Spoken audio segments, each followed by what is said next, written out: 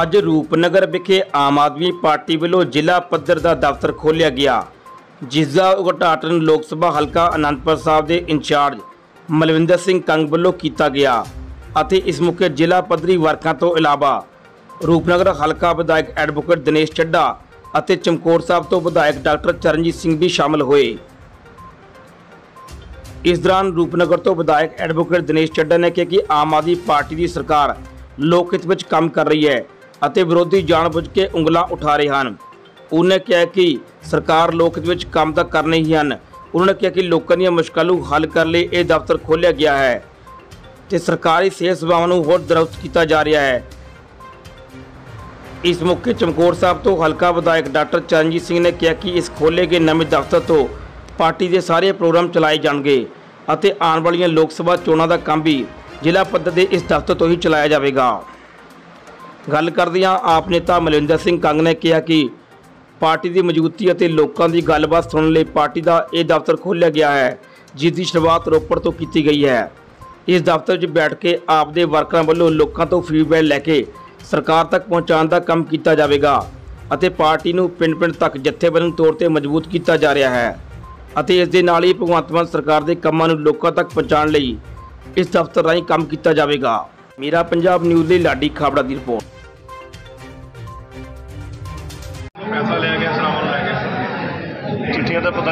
ਪਤਾ ਨਹੀਂ ਜੀ ਸਾਡੇ ਪੰਜਾਬ ਗਵਰਨਮੈਂਟ ਨੂੰ, ਸਾਡੇ ਮੈਂਬਰ ਰਾਜ ਸਭਾ ਰਾਘਵ ਜੀ ਨੇ ਕਿ ਪਹਿਲਾਂ ਹੀ ਬੜੇ ਜ਼ੋਰ ਸ਼ੋਰ ਦੇ ਨਾਲ ਇਸ ਨੂੰ ਰਾਜ ਸਭਾ ਦੇ ਵਿਖਾਇਆ ਔਰ ਸਰਕਾਰ ਦੇ ਮੂੰਹ ਤੇ ਇਸ ਗੱਲ ਦੀ ਚਪੇੜ ਮਾਰੀ ਹੈ ਕਿ ਬੜਾ ਗਲਤ ਫੈਸਲਾ ਹੈ। ਤੇ ਇੱਕ ਜੇ ਤੁਸੀਂ ਜੋੜੇ ਮਾਜਰਾ ਵਾਲਾ ਇੰਸੀਡੈਂਟ ਤੋਂ ਬਾਅਦ ਦੋ ਜਿਹੜੇ ਐਸਐਮਓ ਨੇ ਉਹਨਾਂ ਨੂੰ ਅਸਤੀਫਾ ਦਿੱਤਾ ਗਿਆ ਹੈ। ਤੁਸੀਂ ਕਿੱਦਾਂ ਦੇਖਦੇ ਆ ਅ, ਕਿ ਜਿਹੜੇ ਉਹਨਾਂ ਨੂੰ ਅਸਤੀਫੇ ਦਿੱਤੇ ਜਾ ਰਹੇ ਨੇ? ਨਹੀਂ, ਇਹ ਤਾਂ ਰੂਟੀਨ ਦੀ ਗੱਲ ਹੈ ਜੀ। ਅੱਜ ਪੰਜਾਬ ਦੇ ਸਿਹਤ ਸਿਸਟਮ ਦੇ ਬੜੇ ਸੁਧਾਰ ਹੋਏ ਨੇ ਤੁਸੀਂ ਵੱਖ-ਵੱਖ ਹਸਪੀਟਲ ਦੇ ਵਿੱਚ ਜਾ ਕੇ ਦੇਖੋ ਇਹ ਵੀਜ਼ਾ ਦੁੱਖ ਜਿੰਨੇ ਮਰੀਜ਼ ਪਹਿਲਾਂ ਚੈੱਕ ਕੀਤੇ ਜਾਂਦੇ ਸੀਗੇ ਉਹਨਾਂ ਦੁੱਖ ਮਰੀਜ਼ ਹੁਣ ਚੈੱਕ ਕੀਤੇ ਜਾਂਦੇ ਹਸਪਤਾਲਾਂ ਦੇ ਵਿੱਚ ਹਰ ਚੀਜ਼ ਦੇ ਵਿੱਚ ਸੁਧਾਰ ਆਇਆ ਤਾਂ ਪੰਜਾਬ ਦਾ ਸਿਹਤ ਸਿਸਟਮ ਇੱਕ ਇਨਕਲਾਬ ਬਦਲਾਅ ਵੱਲ ਨੂੰ ਜਾ ਰਿਹਾ ਜਾ ਰਿਹਾ। 15 ਅਗਸਤ ਨੂੰ ਮਹੱਲਾ ਕਲੀਨਿਕ ਜਿਹੜੇ ਉਹ ਪੂਰੇ ਪੰਜਾਬ ਦੇ ਵਿੱਚ ਖੋਲ੍ਹੇ ਜਾ ਰਹੇ ਆ। ਲੋਕਾਂ ਨੂੰ ਵੱਡੀ ਰਾਹਤ ਸਿਹਤ ਦੇ ਖੇਤਰ ਦੇ ਵਿੱਚ ਸਰਦਾਰ ਭਗਵੰਤ ਸਿੰਘ ਮਾਨ ਜੀ ਦੀ ਅਗਵਾਈ 'ਚ ਮਿਲਣ ਜਾ ਰਹੇ ਸਾਈਡ ਪਾਲਿਸੀ ਦੀ ਗੱਲ ਕਹੀ ਗਈ ਸੀਗੀ। ਵਿੱਚ ਕਿਸ ਤਰ੍ਹਾਂ ਲੋਕਲ ਬਾਡੀ ਦੇ ਵਿੱਚ ਕਪੂਰ ਸਾਹਿਬ ਪਿਛਲੀਆਂ ਸਰਕਾਰਾਂ ਦੇ ਵਿੱਚ ਤੁਸੀਂ ਵੀ ਕਵਰੇਜ ਕਰਦੇ ਰਹੇ ਆ। ਉਹਨਾਂ ਦੇ ਵਿੱਚ ਵਿਗਾੜ ਹੀ ਇੰਨਾ ਕੁ ਪਾਤਾ ਹੋਇਆ ਕਿ ਸੁਧਾਰ ਕਰਨ ਨੂੰ ਰਿਜ਼ਲਟ ਆਉਣ ਨੂੰ ਸਮਾਂ ਲੱਗਣਾ। ਸੁਧਾਰ ਸ਼ੁਰੂ ਉਹਨਾਂ ਦੇ ਵਿੱਚ ਕੋਸ਼ਿਸ਼ਾਂ ਕਰ ਦਿੱਤੀਆਂ ਗਈਆਂ ਨੇ ਪਰ ਜਿੰਨਾ ਉਸ ਸਿਸਟਮ ਨੂੰ ਵਿਗਾੜਿਆ ਜਾ ਚੁੱਕਿਆ ਪਾਣੀ ਦਾ ਬੰਦੋਬਸਤ ਨਹੀਂ ਸੀਵਰੇਜ ਦਾ ਨਹੀਂ ਸੋ ਪਾਰਕਾਂ ਦੀ ਕੋਈ ਮੇਨਟੇਨੈਂਸ ਨਹੀਂ ਹੈਗੀ ਉਹਨਾਂ ਦੇ ਵਿੱਚ ਜਿਹੜਾ ਸੁਧਾਰ ਕਰਨ ਨੂੰ ਸਮਾਂ ਲੱਗਣਾ। ਜਿਹੜਾ ਸਾਹਿਬ ਜਿਹੜਾ ਅੱਜ ਦਫ਼ਤਰ ਖੋਲ੍ਹਿਆ ਗਿਆ ਵਰਕਰਾਂ ਨੂੰ ਬੂਸਟ ਅਪ ਕਰਨਾ ਜਾਂ ਵਰਕਰਾਂ ਦਾ ਪਾਰਟੀ ਦੀ ਪਾਰਟੀ ਨੂੰ ਅੱਗੇ ਤੱਕ ਲੈ ਕੇ ਜਾਣ ਦੇ ਲਈ ਕਿਉਂਕਿ ਅਸੀਂ ਜਿਹੜੇ ਘਰ ਘਰ ਰੁਜ਼ਗਾਰ ਦੇ ਝੂਠੇ ਨਾਰੇ ਵੇਚਣ ਵਾਲੇ ਸੀਗੇ ਉਹਨਾਂ ਪਰ ਤਾਂ ਝਾੜੂ ਫਿਰ ਗਿਆ। ਹੁਣ ਜਿਹੜੇ 15 ਲੱਖ ਖਾਤਿਆਂ 'ਚ ਪਾਉਣ ਦੇ ਜੁਮਲੇ ਸੁਣਾਉਣ ਵਾਲੇ ਝਾੜੂ ਹੁਣ ਉਹਨਾਂ ਪਰ ਵੀ ਫਿਰਨਾ ਉਹਦੇ ਲਈ ਸਾਡਾ ਸੰਗਠ ਸੰਗਠਨਾਤਮਕ ਸਿਸਟਮ ਹੈ ਉਹਨੂੰ ਬੂਤ ਕਰਨ ਦੀ ਲੋੜ ਹੈ। ਉਹਦੀ ਦਫ਼ਤਰਾਂ ਦੀ ਲੋੜ ਹੈ ਦਫ਼ਤਰ ਖੋਲ੍ਹਿਆ ਗਿਆ। ਉਸ ਤੇ ਕਾਫੀ ਜਿਹੜਾ ਕਿ ਬਾਲ ਵਿਵਾਦ ਹੋਇਆ ਰੌਲਾ ਪਾਇਆ ਗਿਆ ਇਹ ਕੀ ਕਾਰਨ ਦੇਖੋ ਸਾਡਾ ਤੇ ਦੂਜੀਆਂ ਪਾਰਟੀਆਂ ਦਾ ਬੁਨਿਆਦੀ ਫ਼ਰਕ ਹੀ ਇਹ ਆ ਕਿ ਸਾਡੀ ਸਰਕਾਰ ਦੇ ਹੋਣ ਤੋਂ ਬਾਅਦ ਜਿਹੜੇ ਸਰਕਾਰੀ ਸਰਮਾਏ ਲੋਕਾਂ ਨੇ ਲੁੱਟ-ਸੁੱਟ ਕੀਤੀ ਸੀ ਉਹ ਵਾਪਸ ਲਏ ਜਾ ਰਹੇ ਆ। ਲੇਕਿਨ ਪਿਛਲੇ ਸਾਲਾਂ 'ਚ ਇਹ ਹੁੰਦਾ ਰਿਹਾ ਵੀ ਸਰਕਾਰ ਬਣਾਉਣ ਦਾ ਮਕਸਦ ਇਹ ਹੁੰਦਾ ਸੀ ਵੀ ਅਸੀਂ ਕਿਸ ਤਰੀਕੇ ਨਾਲ ਪੂਰੇ ਖਜ਼ਾਨੇ ਨੂੰ ਲੁੱਟਣਾ ਹੈ, ਪੰਜਾਬ ਦੇ ਸਰਮਾਏ ਨੂੰ ਲੁੱਟਣਾ ਹੈ, ਪੰਜਾਬ ਦੇ ਜਿਹੜੇ ਰਿਸੋਰਸ ਹੈ ਉਹਨਾਂ ਨੂੰ ਲੁੱਟ-ਸੁੱਟ ਕਰਨੀ ਹੈ। ਸੋ ਮਾਨ ਸਾਹਿਬ ਦਾ ਮਕਸਦ ਹੀ ਹੈ ਵੀ ਇਹ ਸਾਰਾ ਸਰਮਾਇਆ ਪੰਜਾਬ ਦੇ ਖਜ਼ਾਨੇ 'ਚ ਆਵੇ ਔਰ ਪੰਜਾਬ ਦੇ ਜਿਹੜੇ ਆਮ ਗਰੀਬ ਲੋਕ ਹੈ, ਸਧਾਰਨ ਲੋਕ ਹੈ, ਉਹਨਾਂ ਤੇ ਖਰਚ ਹੋਵੇ, ਉਹਨਾਂ ਦੇ ਵੈਲਫੇਅਰ ਤੇ ਖਰਚ ਹੋਵੇ ਨਾਲ ਨਾਲ ਪਾਰਟੀ 'ਚ ਔਰ ਸਰਕਾਰ 'ਚ ਪਾਰਟੀ ਦੇ ਜਿਹੜੇ ਐਕਚੁਅਲ ਵਲੰਟੀਅਰ ਹੈ ਉਹਨਾਂ ਨੂੰ ਜਗ੍ਹਾ ਮਿਲੇ ਇਸ ਕਰਕੇ ਹੀ ਜਥੇਬੰਦੀ ਦੇ ਜਿਹੜੇ ਦਫ਼ਤਰ ਖੋਲ੍ਹੇ ਗਏ ਡਾਕਟਰ ਸਾਹਿਬ ਆਮ ਆਦਮੀ ਪਾਰਟੀ ਇੱਕ ਐਸੀ ਪਾਰਟੀ ਕਿ ਨੌਜਵਾਨਾਂ ਨੂੰ ਕਾਫੀ ਅੱਗੇ ਲੈ ਕੇ ਆ ਰਹੀ ਹੈ। ਨੌਜਵਾਨਾਂ ਨੂੰ ਵੱਡੇ ਵੱਡੇ ਜਿਹੜੇ ਅਹੁਦੇ ਦੀ ਜ਼ਿੰਮੇਵਾਰੀ ਦਿੱਤੀ ਗਈ ਸਾਨੂੰ ਲੋਕ ਸਭਾ ਹਲਕਾ ਸ਼੍ਰੀ ਅਨੰਦਪੁਰ ਸਾਹਿਬ ਦੀ ਜ਼ਿੰਮੇਵਾਰੀ ਦਿੱਤੀ ਗਈ ਕਿਸ ਤਰ੍ਹਾਂ ਦੇਖੋ। ਡੈਫੀਨਿਟਲੀ ਦੇਖੋ ਜਿਹੜਾ ਜੋ ਵੀ ਪਾਰਟੀ ਦਾ ਫੈਸਲਾ ਸਿਰ ਮੱਥੇ ਹੁੰਦਾ ਹੈ ਔਰ ਪਾਰਟੀ ਦਾ ਇਸ ਗੱਲ ਲਈ ਧੰਨਵਾਦ ਵੀ ਹੈ। ਮੈਨੂੰ ਨਾਲ ਨਾਲ ਪਾਰਟੀ ਦੇ ਚੀਫ ਸਪੋਕਸਪਰਸਨ ਦੇ ਨਾਤੇ ਮੈਂ ਕੰਮ ਕਰ ਰਿਹਾ।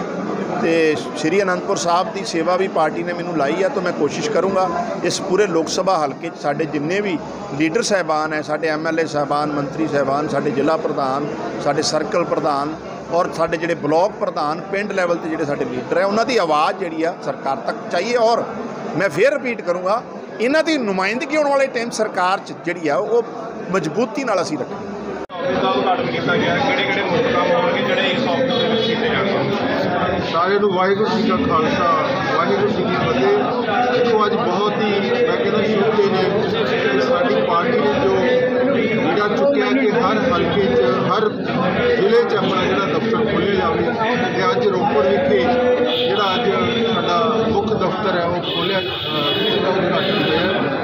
ਸਾਡੇ ਪ੍ਰਧਾਨ ਜੀ ਹਰਮਿੰਦਰ ਸਿੰਘ ਢਾਹੇ ਜੀ ਤੇ ਮਲਵਿੰਦਰ ਕੰਗ ਜੀ ਜੋ ਇੱਥੋਂ ਇੰਚਾਰਜ ਬਣਾਏ ਗਏ ਨੇ ਲੋਕ ਸਭਾ ਸਾਡੇ ਹਲਕੇ ਦੇ, ਉਹ ਇੱਥੇ ਪਹੁੰਚੇ ਨੇ।